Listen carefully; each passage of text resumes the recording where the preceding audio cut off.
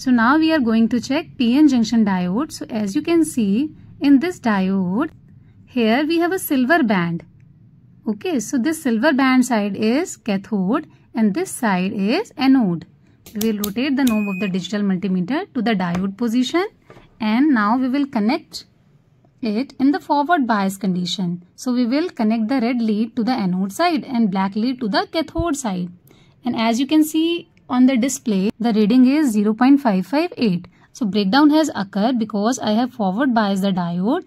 So if it is showing this much voltage drop around 0.6 uh, volts, so it means it is a correct diode. Now if I reverse bias it, I connect the red lead to the cathode side and black lead to the anode side. It will simply show OL. Now because of the high resistance of the reverse bias, this display will not show any reading. So this indicates this diode is fully correct.